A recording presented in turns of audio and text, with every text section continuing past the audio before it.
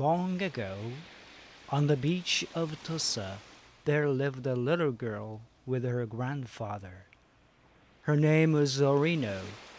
She had lost both of her parents as a baby. So little Orino had to go out to the beach to gather seashells and seaweeds. Sometimes she had to go out fishing into the sea with her grandfather in a boat. Orino was beautiful. Every young man in the village wanted to make her his wife some day. One day, after a heavy storm, she went out to the beach to gather some shells. She found a coral thrown on the shore. When she brought it home, her grandfather was very surprised and said, This is a pink coral, Orino. A pink coral is quite hard to find. Take good care of it. It will become bright like the moon if you polish it. How I wish I could make the coral into a kanzashi and put it in your hair when you get married. Grandfather closed his eyes to picture Orino in her wedding dress in his mind.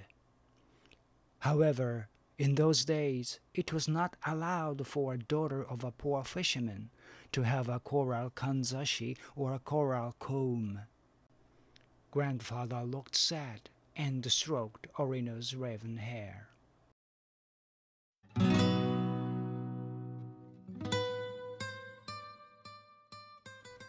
That night, a pink moon came up. Grandfather told a story to little Orino. Long, long, very long ago, the moon broke into two pieces. One of the pieces dropped from heaven and sank to the bottom of the sea. It turned into many pink corals. Therefore, there are a lot of pink corals in the Sea of Tosa.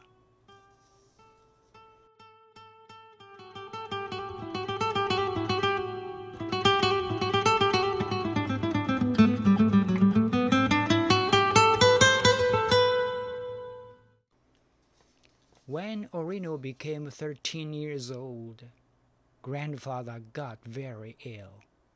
Orino thought that he was possessed by a devil and asked an exorcist to exorcise him, but he didn't get well. Soon grandfather became very thin. Orino didn't know what to do. She wanted to cry. Then one day an old villager said to her, just make him eat some liver of a bear, then he will get well soon. However, the liver of a bear was too expensive for a daughter of a poor fisherman.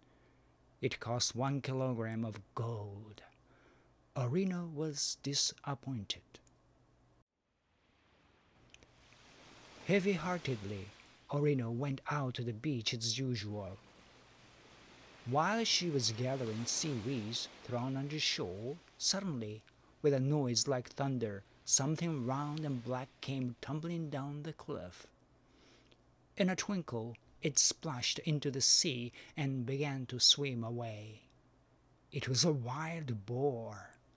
Then a hunter dashed to the beach and banged off his gun at the wild boar. The air smelled of gunpowder. The wild boar floated up and down on the water. The hunter ran into the sea, swam to it, and pulled it back to the beach. He was a young man. Orino was so surprised at his skillful work that she could not speak for a while. Oh, Orino took a step towards him. She thought that the mountain hunter might have some liver of a bear. Excuse me, Orino said to him. She told him about her grandfather's illness. The young hunter, whose name was Yokichi, replied, Well, I just happen to have some liver of a bear. I'll give you some. He took a small piece of liver out of his cloth bag and put it in Orino's hand.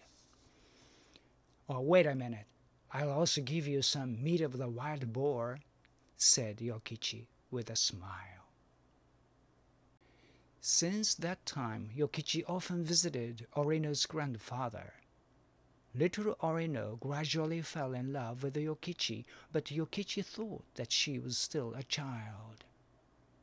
One day, Orino put some pink coral in Yokichi's palm. What is this? Yokichi asked her. I want you to take it. Yokichi laughed. Are you going to give me a treasure like this? All right, I'll polish it for you. Shall I come to marry you after I polish this beautiful coral? He said this half as a joke, but suddenly he became scared. Why?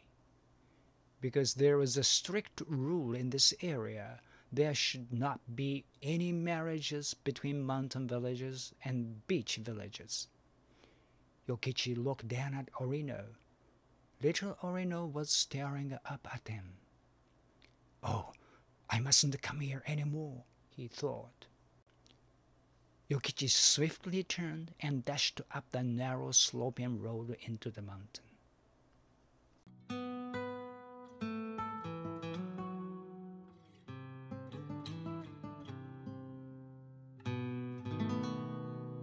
He never came back down to the beach. Orino could never understand Yokichi's mind. She could only wait and wait for him. Every evening she sang these words at the beach. A pink piece of the moon, where did it drop? It dropped into the sea. A pink coral appeared, deep, deep in the sea water. It's sleeping, sleeping. Orino's song resounded on the waves, and the words came to be handed down from pilgrims to pilgrims who passed by the shore. On the beach in the moonlight, we can find pink corals, I hear. They are beautiful pink corals like the moon. Some are washed up on the shore. The rumor spread far and wide. At last it reached the ruler's ears. He and his men got very angry. The pink corals of Tosa were a well protected secret from people of other prefectures. In Yedo there lived the shogun, the ruler of all the rulers in Japan. If he should come to know about the pink corals of Tosa, he would take them all away.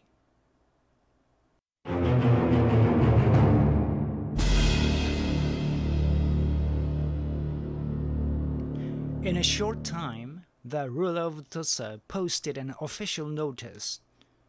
No one can sing a pink piece of the moon. Anyone who has pink corals, big or small, must present all of them to the Lord. All of the villagers became worried and talked about this notice.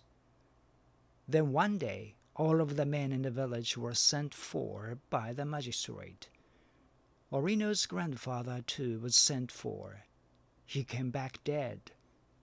In the middle of the examination, he had a sharp pain in his chest and died. It was so sudden that Orino lost her speech. As soon as the funeral was over, Orino was called before the village chief.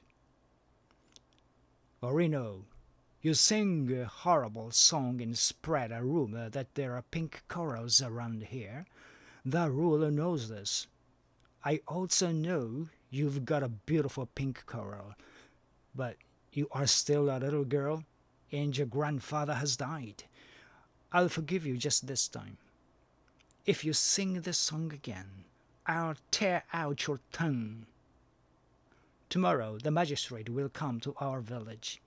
Give your pink coral to him, or your head will be cut off. Understand? Orino cried in her lonely house, Grandpa, Grandpa, Little Orino cried and cried. The villagers kindly said to her, Don't be scared. Hand your pink coral to the magistrate and you will be forgiven. However, she didn't have her pink coral with her. Yokichi had kept it. But she didn't know where Yokichi lived. How dreadful pink corals are! Orino wept and wept. Then tired, she fell asleep. Meanwhile, Yokichi was polishing Orino's pink coral for the last time. After having polished it with the charcoal of magnolia, he rubbed it with a powder of baked deer horns. Then Yokichi saw little Orino's face on the shining coral. He wanted to see her by all means. For a long time he had wanted to see her again, even in secret. To speak to her only once, he stared at the pink coral, but he didn't know about Orino's trouble. Day broke. Orino got up abruptly. She went out into the sea in a small boat. The ruler's order is more dreadful than a demon's. Orino tried to find some corals with a net, but she couldn't find any. At last, she splashed around in the sea. The sight under the South Sea water was always beautiful. Orino kept diving deeper for corals. She didn't know that a black cloud was spreading over the sky.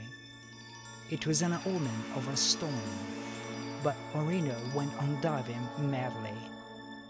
Suddenly the sea blackened and the wind roared up. Large drops of rain began to fall heavily. The sea got rough, as if a lot of rabbits were jumping up and down.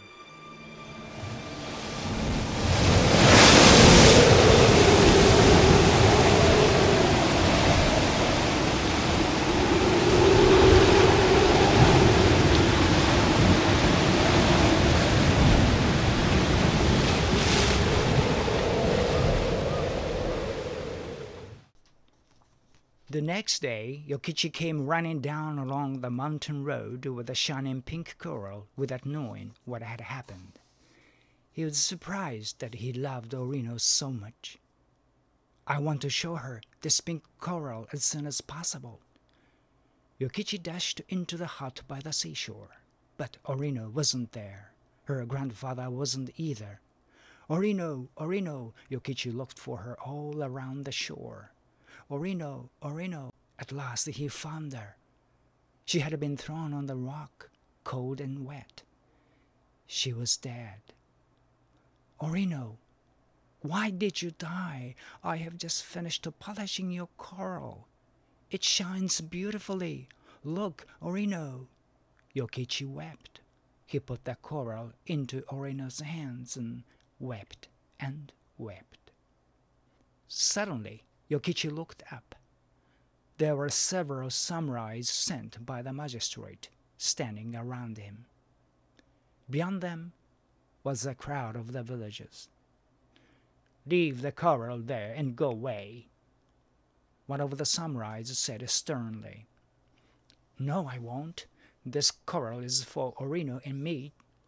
This is a ruler's order. If you don't obey it, I'll cut your head off. I don't care. Yokichi took Orino up in his arms.